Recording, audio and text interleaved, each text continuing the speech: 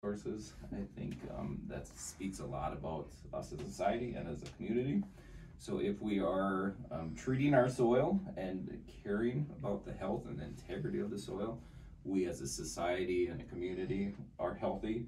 Um, if we take advantage of our land and our soil, um, that ultimately um, that is our livelihood. Um, so I think that um, as a community, we need to care about our livelihood and our future. Um, the soil is going to be here long after I'm gone.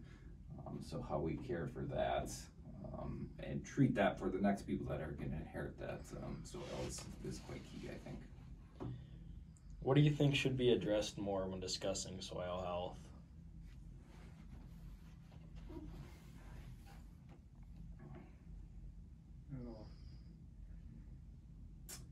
Good question. That's a good question.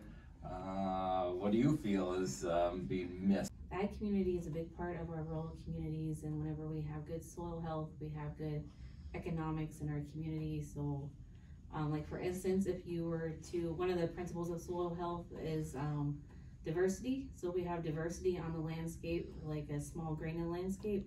An opportunity for that would be wildlife for nesting for pheasants or ducks. And we have good wildlife numbers, and we have people coming into our community to also do some hunting.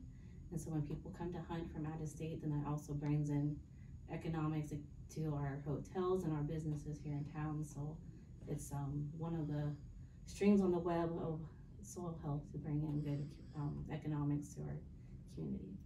Well, soils is the life of everything, guys. If you don't have a healthy soil, we can't have health, clean water, or clean food or anything. We have our soils is the basis on what we what we grow and what we eat, whether it's livestock or vegetables or grains. All that stuff comes from the soil, right? Cows eat grass. Grass grows in the soil. If we don't have a healthy soil, we don't have nothing. We gotta have that. If you look back in history, civilizations rise and fall based on their agriculture.